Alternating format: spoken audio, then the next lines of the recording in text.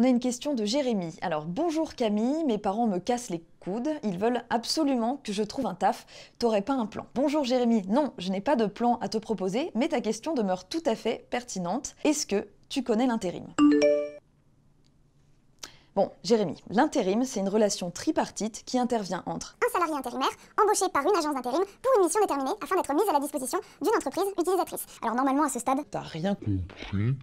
Pour simplifier, une agence d'intérim ou d'emploi va mettre en relation des candidats qui cherchent du travail, comme toi par exemple, et des entreprises qui cherchent à embaucher pour des missions d'une journée à plusieurs mois et à tout niveau de qualification, de aucune expérience, c'est mon premier job, à bac plus 12, yes, I speak English and Chinese too, where is Brian? Sorry, Brian is very busy, he just found a golden job in the company of his dreams, he calls you back. Grâce à l'intérim, tu peux plus facilement rentrer dans la vie active, multiplier les expériences professionnelles, tester et développer tes compétences, accroître ton réseau professionnel et à terme trouver un emploi durable. Voilà alors maintenant Jérém, tu sors de cette grotte que tu appelles chambre, tu imprimes un CV et tu te bouges le cul, le buto. Et prends une petite douche aussi avant d'y aller.